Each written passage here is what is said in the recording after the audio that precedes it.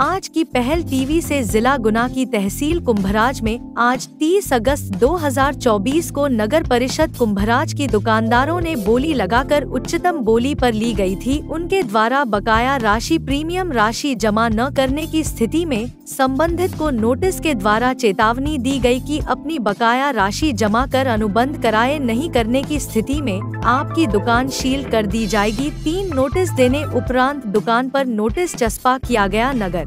पालिका सीएमओ श्रीमती अमिता जैन तहसीलदार व नगर पालिका अमले के द्वारा दुकानों को सील किया गया कुंभराज से श्रवण मीणा की रिपोर्ट।